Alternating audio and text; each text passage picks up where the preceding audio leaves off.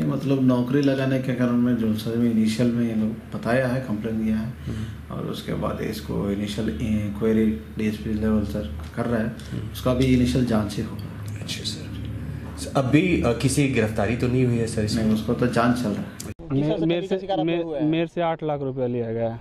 किस चीज़ चार किस्त में हम विकास को पैसा दिए और विकास मेरे सामने नौकरी के लिए हम लोग पैसा दिए थे। कहाँ नौकरी लगा बीसीसीएल में। फिर क्या हुआ? फिर क्या हुआ? जैसे बता रहे भैया बताएँ आपको कि हम इसको को पैसा दिए चार किस्त में। उसके बाद जब इनके पास गए हम लोग वापस कि अब काम नहीं हो रहा। विकास जी को पैसा दिए हम। अच्छा। ठीक है? और ये मेरे सामने डी के झा को पैसा दिया और चार किस्त में हम लोग पैसा दिए थे उसको।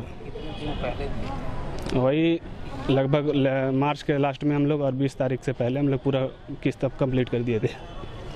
और कब तक नौकरी दिलाने का आश्वासन दिया था? छः महीने में बोले थे कि नौकरी लगवाने का हम अथी लेते हैं रिस्क लेते हो। गया, हैं हाँ, टाइम पूरा हो गया हम लोग पैसा भी नहीं फिर पैसा भी नहीं मिला।